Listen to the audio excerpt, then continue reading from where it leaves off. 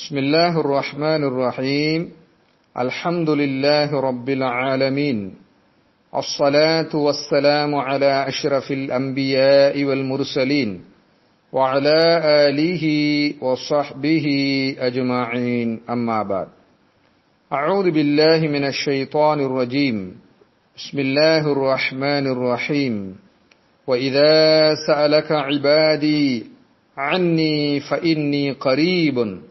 أجيب دعوة الداعي إذا دعاني فليستجيبوا لي وليؤمنوا بي لعلهم يرشدون صدق الله العظيم துஆவின் சிறப்புகளை பற்றி அருள்மறை திருக்குரான் அழகாக எடுத்துரைக்கிறது அல்லாஹு தஆலா கூறுகிறான் நபியே என்னுடைய அடியார்கள் என்னை பற்றி உம்மிடம் கேட்டால் அதற்கு நீர் கூறுவீராக. நிச்சயமாக நான் அவர்களுக்கு மிக சமீபமாகவே இருக்கிறேன். அழைப்பாளரின் அழைப்புக்கு அவர் என்னை அழைத்தால் நான் பதிலளிப்பேன். ஆகவே அவர்கள் நேரான வழியை அடைவதற்காக அவர்கள் எனக்கு பதிலளிக்கட்டும். அவர்கள் என்னையே ஈமான் கொள்ளட்டும் என்று அல் குர்ஆன் அத்தியாயம் இரண்டு வசனம் நூற்றி எண்பத்தி ஆறில் சொல்லிக் காட்டுகிறார் வேறொரு வசனத்தில் வகால ரப்புக்கும் உதுஊனி அஸ்தஜிபுலக்கும் இன்னல்லதீன யஸ்தக்பிரூன அன் இபாதத்தி சயதுகுலூன ஜஹன்னம தாகிரின். இன்னும் உங்களுடைய இரட்சகன் கூறுகிறான் நீங்கள் என்னையே அழைத்து பிரார்த்தியுங்கள் துவா செய்யுங்கள். நான் உங்களுடைய பிரார்த்தனைக்கு பதிலளிப்பேன்.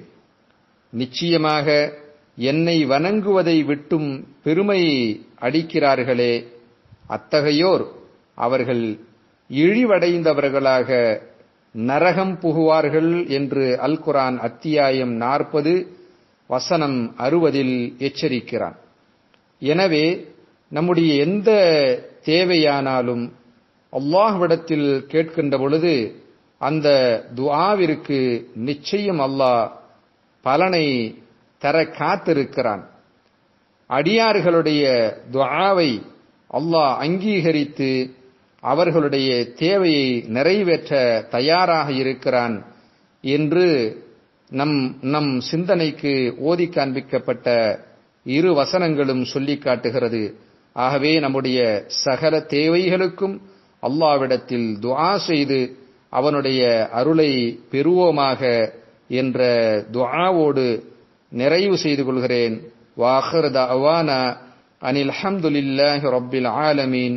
அஸ்ஸலாமு அலைக்கும் வரஹ்மத்துல்லாஹி வபரகாத்தூ